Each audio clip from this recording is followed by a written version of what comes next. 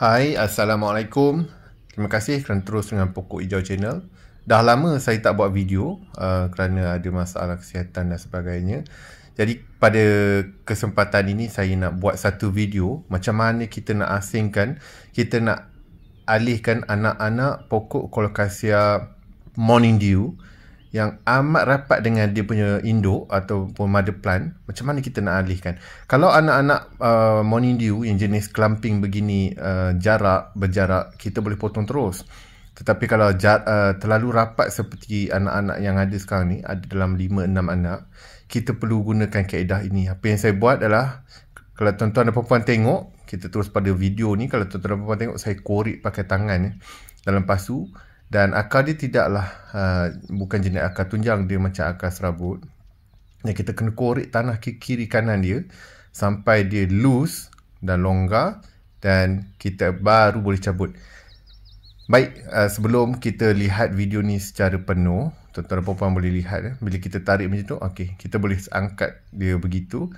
Saya bukanlah pakar tetapi uh, saya kongsi pengalaman saya macam mana kita buat. Okey selepas kita dah keluarkan daripada pasu, apa yang kita buat adalah kita terus spray dengan air.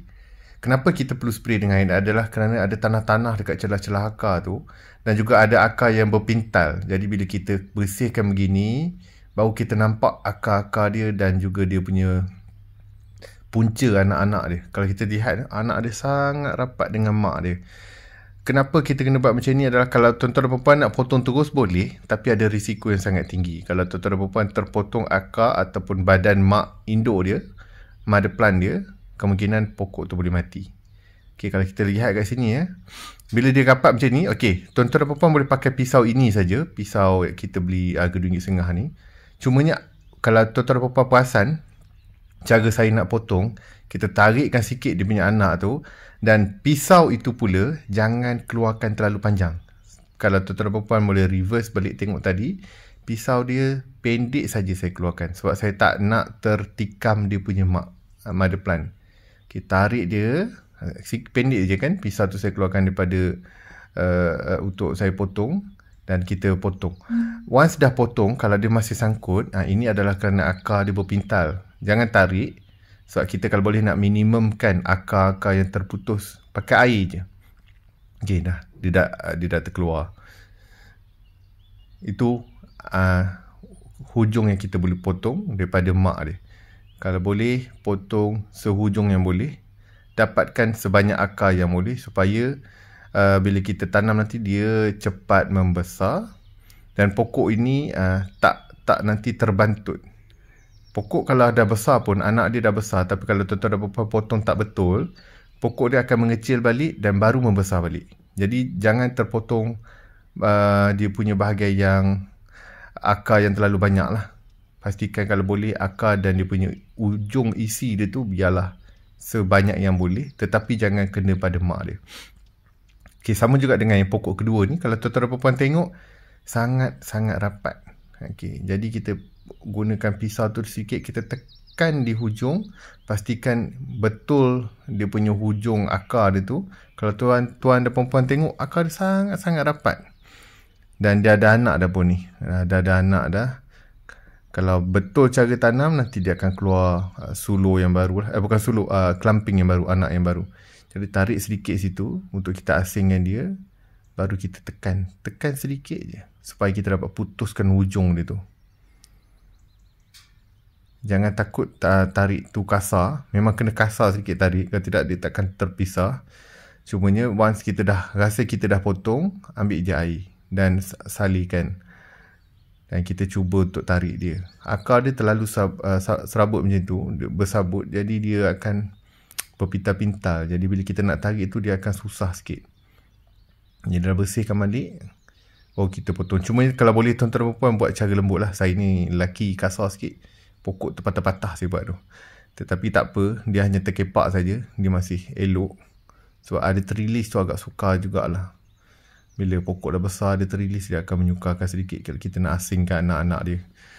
Uh, kalau macam saya cakap awal tadi, kalau pokok tuan-tuan uh, ada satu dua dan jauh sedikit pada mak dia, tak perlulah buat cara ini. Yang ni kita macam panggil pembedahan pakar lah. Kita kena keluarkan dia, kita kena asingkan dan sebagainya. Okey, nampak eh badan dah terpotong dan kita alihkan dengan air. Okey, ada setengah orang dia kata, ah, saya susah lah nak potong sebab anak dia terlalu rapat, saya biarkan je. Tuan-tuan dan perempuan boleh biarkan. Tetapi sampai bila tuan-tuan dan perempuan nak biarkan anak dia dengan mother plant, ah, dengan induk. Sebab anak dia tu ambil zat. Kita tak nak lah dia nanti mengganggu tumbesaran mother plant. Jadi biar kita uh, ambil dia dan kita tanam di tempat lain. Dan cara saya juga, saya tak akan uh, apa uh, harvest ataupun tuai anak yang terlalu kecil. Kalau tuan-tuan perempuan tengok anak yang saya tuai semua yang masih besar. Besar daripada ibu jari dia punya saiz. Dan saya tak tuai anak yang kecil-kecil. Ada setengah orang suka tuai anak kecil nak jual cepat. Sebaiknya tuai lah yang besar. Supaya kalau kita jual kat customer. Ataupun kalau tak nak jual, kita nak simpan pokok tu stabil. Uh, sihat dan sebagainya. Ada setengah orang kecil lah. Anak baru keluar sangat. Baru ada satu daun dah. Tak sabar nak menjual. Terutamanya masa tak zaman uh, tahun lepas lah. Kalau kita lihat masa kolokasia tengah tengah boom tengah hot, tengah viral, pokok sekecil-kecil alam pun nak jual. Itu pula jual mahal.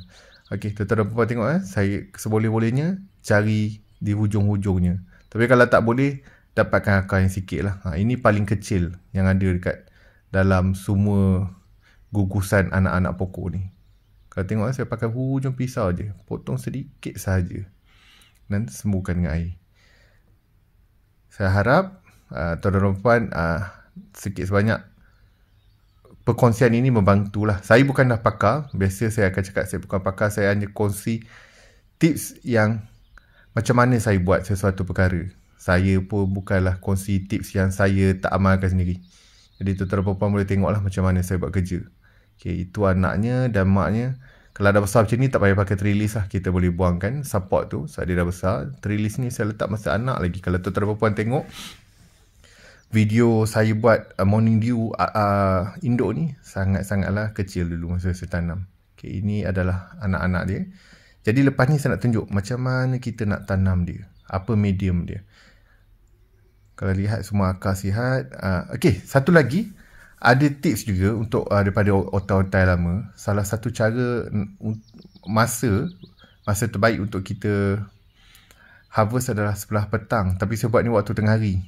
Kenapa buat sebelah petang atau malam? Sebab masa tu tak panas, pokok tak stres. Tapi kalau tuan-tuan puan tak ada masa macam saya, ada masa tengah hari je, ha, buatlah masa ni. Okey, dari segi media, media sebenarnya pokok kolokasia ni apa-apa media pun boleh hidup sebenarnya. Janji jangan tanam dalam batu. Uh, tanah campur boleh, tanah megah boleh dan sebagainya. Tapi kalau tuan-tuan puan perasan, saya memang suka pakai tanah macam ni lah.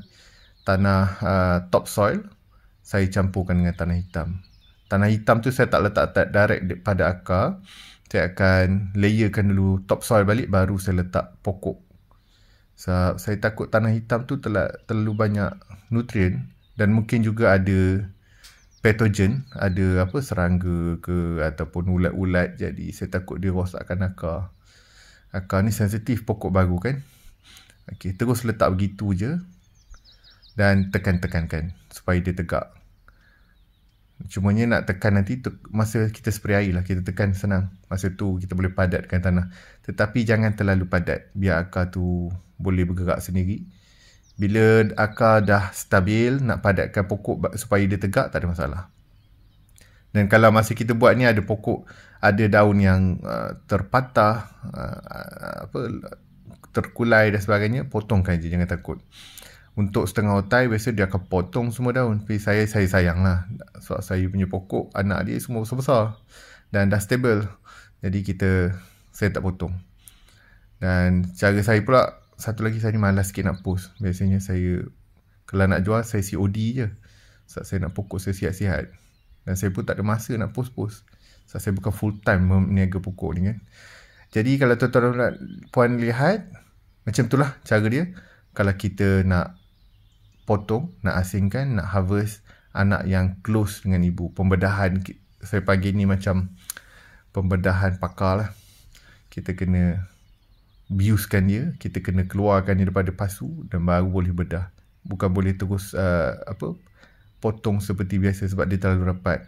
Ramai yang tak sabar ataupun malas nak buat benda macam ni, terus potong aja. Terutama untuk pokok kelamping lah eh, yang saya ceritakan ni.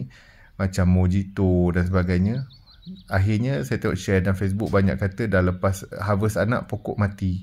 Menge- mengecut, mengecut dan mati. Ha, itu antara simptom tuan-tuan dan puan terpotong ubi lah tu. Terpotong ubi atau terpotong, terpotong badan mother plant tak perasan itu benda biasa yang akan berlaku sebab kita tak nampak dia dalam tanah kan.